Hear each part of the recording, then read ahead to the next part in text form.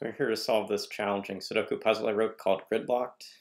There are a few different ways to maybe make initial progress, but there was one key sticking point that was hidden at the start and something that hopefully solvers were able to discover and see um, the, the way it was hidden in the initial solving pattern. I'll just give some examples of things people may have tried before potentially stumbling into that uh, theme at least in my standard notation style, I would probably have marked in um, these notes. I don't think I would have done anything with the eights except up here. There are, looks like no other clear repeats that do things. There's some interesting stuff about the sevens. This isn't a very typical pattern, but it's something I just like to highlight. It's something that always looks to me when I see L shapes where I've got a digit can go in one of three spaces, there's a kind of step I look at, which is does this kind of an intersection point cause trouble? And it turns out it's actually the case in this puzzle that there is a limitation, like the sevens can't go in the, the big uh, center points of these L groups because if they did, and I'll show you why in a second, uh, if I put a 7 in here, put a 7 in here, put a 7 in here, and now there's no space for a 7 in that box. And so um, you can sometimes, when you see a pattern, mentally, like what's in green, put in that kind of space in the grid. But that, that also won't get you very far right now. It's useful later on, actually, but it's useless at this moment. I normally track positive information, so other solvers may have tracked um, uh, negative information, as say like digits that can be remaining in cells. So another way some people will look at this grid early on is to see that there are four particular cells that are pretty um, plentiful in the digits they see. They're in this crook where they're in a box of three cells. They're near this, this bend of another L shape, but they see four in row, four in column, and one more. And you can sometimes look at those kinds of spaces for naked singles. In this case, there aren't any naked singles defined, but there are three pairs, if I'm remembering right, and there is a larger option up there. So again, those don't exactly clue you into what to look at, except they may finally get you interested in the second column, the fifth column, and the eighth column. And the theme for this puzzle is revealed by two digits, and they're placed symmetrically. And there are the, these three sixes and these three nines. And the way this works out is that in row three and in row seven, there are two unique cells that uh, the last six can go into, and those will form an X-wing pattern. And in forming that pattern, let me show you what that means. One of these cells in red and one of these other cells in red will be a 6, which means none of these cells can be a 6, none of these cells can be a 6. None of these cells extending out can be a 6. And uh, one thing it means actually very quickly is that in the center column, the 6 is not in the middle of this box, it's going to be in the left or right columns, and we get a sure 6 there. The other parallel thing to observe, though, is there's a x-wing also on the 9s. It's in columns 2 and 5, as opposed to columns 5 and 8. So in these cells, uh, we're going to get uh, a 9 in the left or right, and on the bottom, a 9 in the left or right. And again, 9 can't be in cells like this, can't be in cells like this. So there are ways we can handle this, but an interesting thing, which was my goal in setting up this theme, is if you have two X-wings in a puzzle and they overlap in one of the columns or rows that they're using, they form a pair. And so the intended star of the puzzle was to recognize a 6-9 pair forced by X-wings that put in the 6-9, which put in these 6-9 uh, uh, digits there's other clues we put in the grid, like this is a lone space for the other six in those boxes, lone space for the other nines in these boxes. And I think this is the starting part of the puzzle.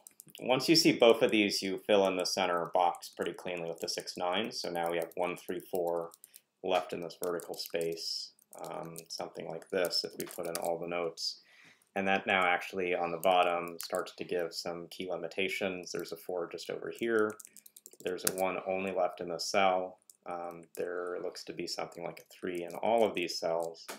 But after I place in this 1, let's come back to thinking about 6 and 9. Where is the last space for 6 and 9 in these cells? We have 1 right here, and there aren't any more in that column, and there aren't any more in this bottom row. So the last space for 6 and 9 is here, which actually gives us just one spot for a 4, one spot for a 3. You have a 2, 5 coming up. Last digit up top here is an 8. You have 2, 6, and 9 for this column. The 2 is here, the 6, 9 is there. The last digit in this space are 3, 5, 3, 5. I think this, this notation gets us uh, farther into the grid. Um, let's just see if in the digits we just placed we have others we can make progress with. I can mark um, that this cell up here is a 4, 5. I can mark this cell down here is, actually what is this? Is this now, I think what I can do is actually find a look at the sevens. We've talked about sevens before, and so I have a 7 down, a 7 here, which puts a 7 note in the space, and we put a 7, which puts a 7, which puts a 7, puts a 7. We're dodging the center of those L shapes, and so that gets us to this spot. Um, this bottom row has a 2, 5 left to place. That's just a unique 2, 5, unique 2, 5. This 5 comes up to the top and forces a 4. So we have all the 4s in the grid. We get a 3, 5 up top. We have uh, some more things to place in here, and I had marked at the start that this was a potential 1-5 uh, cell. It's now actually a naked single because the 5's been placed. The only digit left that's valid for this is a 1. And that puts uh, the last potential 1 in those cells in this box. We still have 2, 5, and 4 coming up this column, but this is the last place for a 4.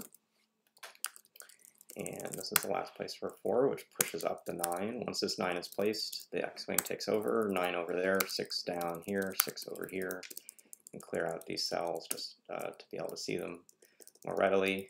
We have another 3, 5 coming across. The 6 places a 9, 9, 6, 6. Places a 9. This is the last spot for a 1. Down here, this is a 6, and we have a 2, 8 left to go. We have a 1 coming up in one of these cells, but you'll see that in this row, the 1 has to be in the left, the 8 has to be here. That now forces an 8 to be just in these two cells up above, and that puts an 8 here and a 2 here. So we get rid of this 2. This bottom, uh, sorry, this top corner now is just one spot for the 2, which goes over to here. This box is just one spot for the 2, which puts in this 2, so now the 5 and 8 are uniquely determined. This gives us a 5, 3, gives us a 3, this is the last 5, this is the last 8. For those spaces 3, 5, we have a 1 and a 2 left to go here, and that 2 is below, the 1 is above, 1 with 3, 3 with 5, 5 and 8.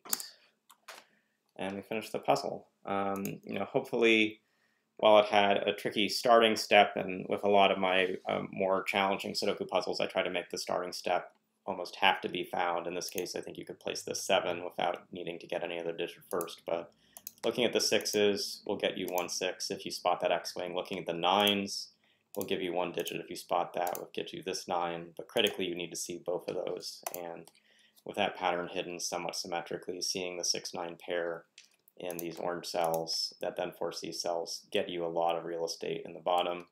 You eventually place a 1 with a 6, 9 to give you the rest of these cells. You get these in, and you finally work around the grid. So it's got some amount of work to it, but hopefully you got a sense from the setting of how I was hiding uh, a tricky step at the start to challenge your skills. And if you found it on your own, congratulations. It's a really uh, a challenging puzzle and a great observation if you're able to do it. So we'll see you again soon.